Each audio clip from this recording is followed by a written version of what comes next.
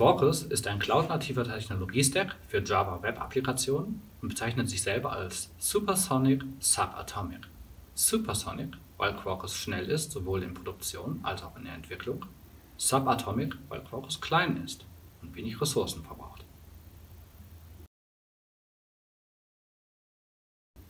Quarkus basiert auf Jakarta EE und Microprofile, das heißt, wir können bestehendes Wissen weiterverwenden.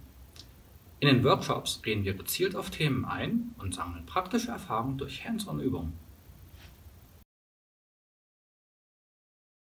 Quarkus bietet einen cloud-nativen, modernen Technologiestack, der ressourcenschonend in Produktion läuft. Wenn ihr mehr wissen wollt, geht auf unsere Console-Homepage. Ich freue mich, euch in den Workshops zu sehen.